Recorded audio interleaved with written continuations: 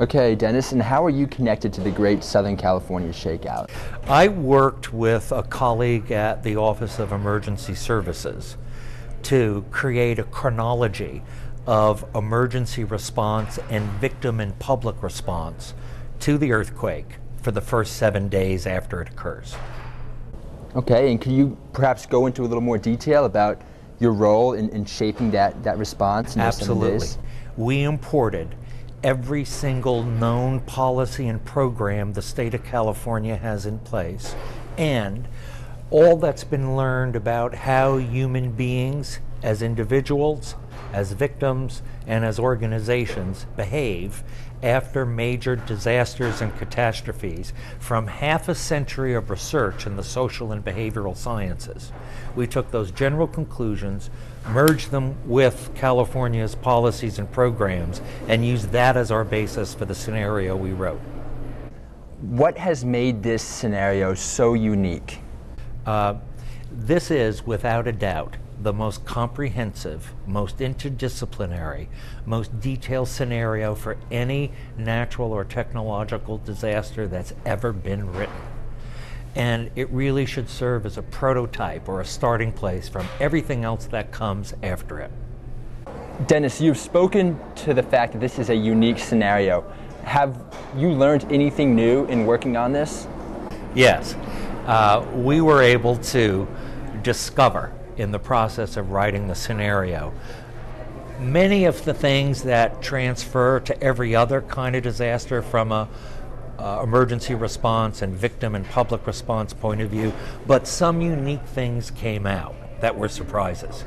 And uh, they include that people on the uh, east end of the San Andreas Fault are going to be on their own longer than they've ever imagined and that most emergency response, if not all of it initially, uh, will be performed by the victims themselves. So we learned lessons that it's important for local communities on the East End to take to heart to get their citizens ready because they need to be ready and self contained. Uh, we also learned that there'd be some unique emergency response needs. For example, fires in the Los Angeles area will become so large we need emergency responders to think through how they're going to respond to that when it occurs. We've also learned that the water pipes are going to get so busted up and be broken for so long that we're going to need for departments of water and power to come up with innovative ideas and approaches about how to solve that problem. We didn't know those things before we wrote the scenario. And those kinds of organizations are already giving very serious thought to solving those problems. I don't know if they'll be able to, but at least they're aware of them. Okay, so Dennis, will this bridging of the social sciences and the physical sciences make a difference in the community's prepare, preparation for um, a potential event of this magnitude? Well, I'm a sociologist, so I can really answer that question based on scientific data. And it depends entirely on what you mean when you say community. If you're talking about the public, the bottom line is what has the public get ready for events that in their heart they don't really think are going to happen, and if they do, happen to someone else? uh, is ongoing communication. You need to sell it the way they sell Coca Cola. So, having one scenario at one brief period in time probably won't accomplish much, except it's part of an ongoing, unrelenting, never ending stream of communication. So, it'll accomplish some good in that regard. In reference to political systems and the passage of laws, the California Seismic Safety Commission did a timeline tracing 100 years of seismic safety legislation in the state. From 1906 to 2006, 99.9% of those laws were passed in the three months after major earthquakes, not before.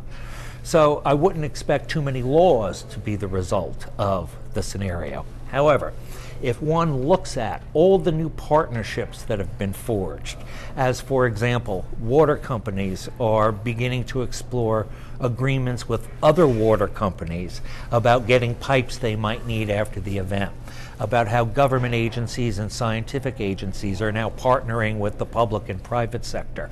Uh, the, a great deal of good will come from mixing the social and behavioral sciences in this scenario. All right, Dennis, you've had the opportunity to work on a particular facet of the scenario. As you step back and look at the scenario as a whole, what inspires you the most?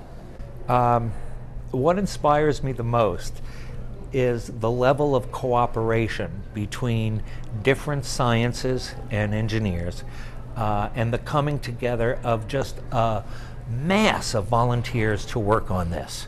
Uh, it was an avalanche of people who wanted to work on this. The best people in their disciplines came to give freely, many of them, in fact, most of them, to produce this. And then the interest it's created in the emergency response community and the private sector and with organizations that need, need to deal with earthquake disaster losses. So it's created a great new network of people coming together and working together. That's the key to solving this problem.